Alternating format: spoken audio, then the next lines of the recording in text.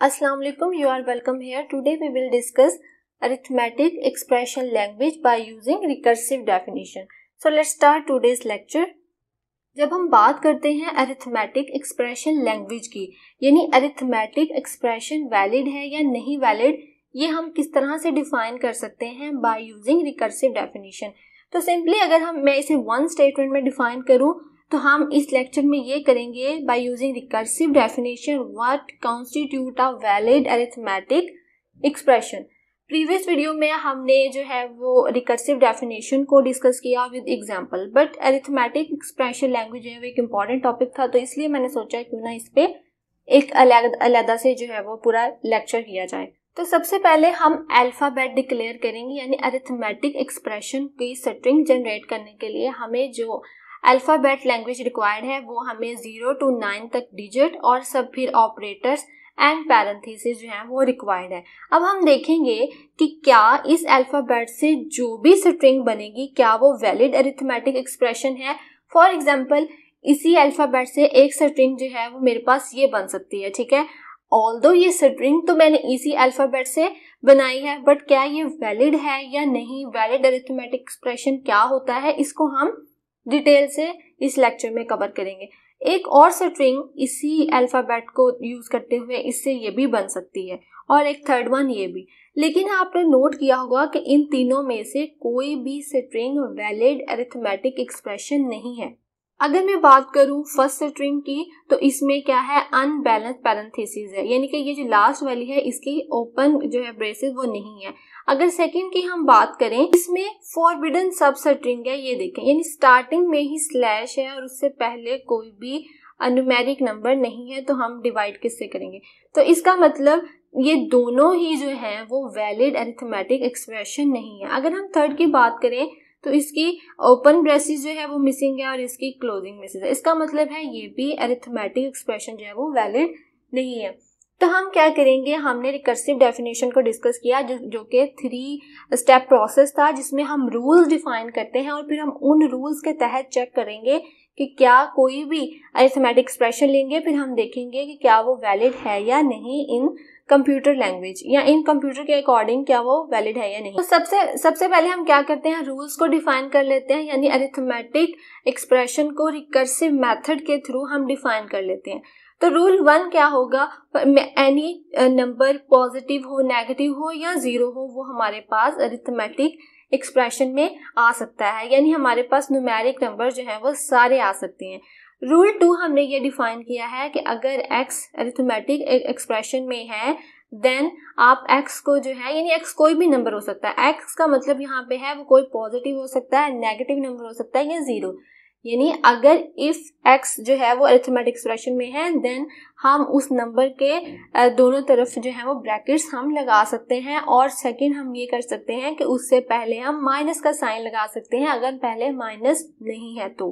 अब हम third rule देखते हैं। थर्ड रूल क्या कहता है कि अगर if x and y are in arithmetic expression अगर जो, दो हमारे पास अरिथमेटिक एक्सप्रेशन में नंबर हैं देन उन पे हम वेरियस ऑपरेशन परफॉर्म कर सकते हैं उन पे डिफरेंट ऑपरेटर को यूज़ कर सकते हैं। यानी हम अगर ये एक्स और वाई दो नंबर हैं जो कि अरिथमेटिक एक्सप्रेशन में हैं तो हम एक्स प्लस वाई लिख सकते हैं एक्स माइनस वाई लिख सकते हैं एक्स को वाई के साथ मल्टीप्लाई कर सकते हैं और डिवाइड कर सकते हैं। या फिर हम उसे एक्सपोनेंशियल फ़ंक्शन भी जो है वो परफॉर्म कर सकते हैं। तो अब हमने इन तीन रूल्स की के अंदर हमने क्या किया है? अपने पूरे अरिथमेटिक एक्सप्रेशन की की डेफिनेशन दे दी है कि जो इन रूल्स को फुलफिल करते हुए आपके पास इक्वेशन या एक्सप्रेशन क्रिएट होगा, सिर्फ़ वही वैलिड अरिथमेटिक एक्सप्रेशन है।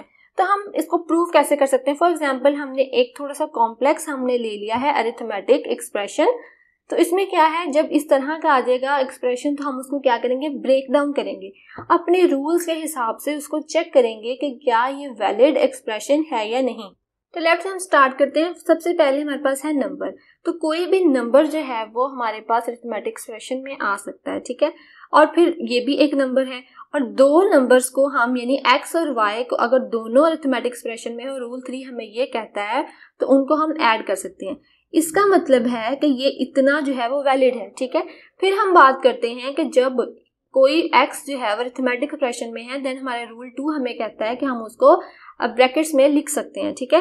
तो यहाँ इसका मतलब ये पूरा अरिथमेटिक एक्सप्रेशन है। सिमिलरली इसको भी अगर हम चेक करें तो ये पूरा अरिथमेटिक एक्सप्रेशन है वैलिड ठीक है लेकिन ये जो मैंने एग्जांपल ली है, यहाँ ये बहुत थोड़ा सा लेंथी है। यानी कि अगर आप सिर्फ़ इतना लिख दें, ये भी एक्सप्रेशन है एक तरह से तो अब अगर हम आगे देखें, एक एक्सप्रेशन ये है आपके पास, अब हम किसी भी, अगर आपके पास फॉर एग्जांपल ये आपके पास एक्स है पूरा, हम किसी, अगर कोई अरिथमेटिक एक्सप्रेशन हमारे पास नंबर है तो उसको मल्टीप्लाई कर हैं कर सकते हैं किसी दूसरे से। यानी अगर हम ये रूल थ्री के अकॉर्डिंग देखें, ये वाली स्टेटमेंट यहाँ तक फुलफिल हो रही है, ठीक है?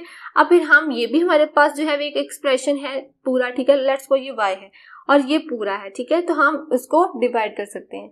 तो ये हमारा रूल थ्री के अकॉर्डिंग हम, ये हमारा वैलिड अरिथमेटिक एक्सप्रेशन है।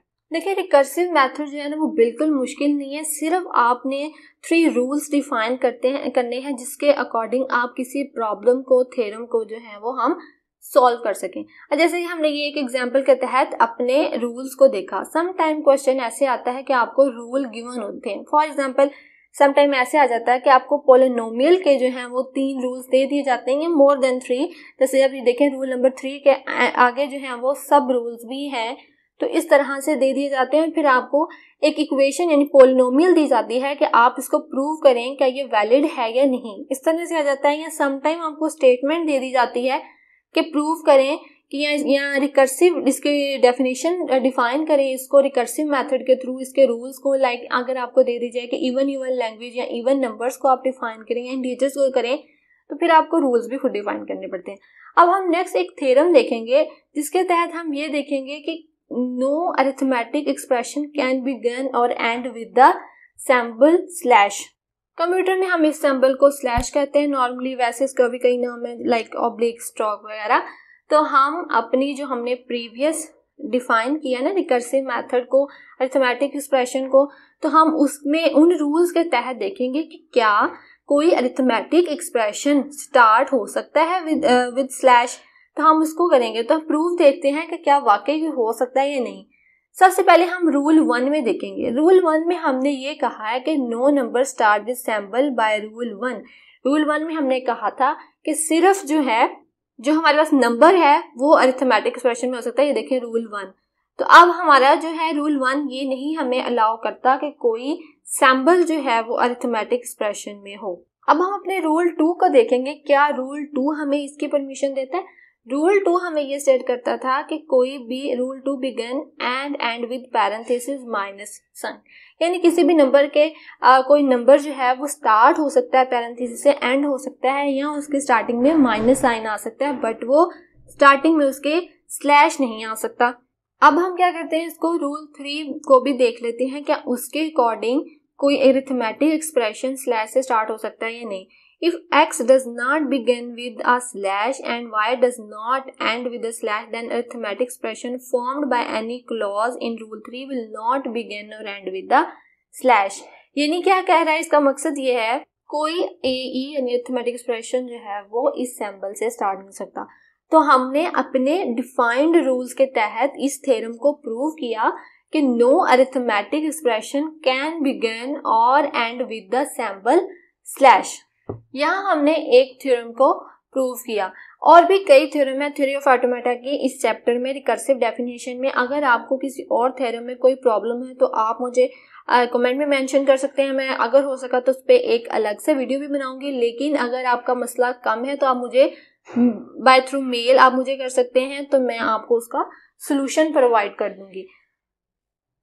Thanks for watching please like my video and share and also subscribe my channel. Allah Hafiz.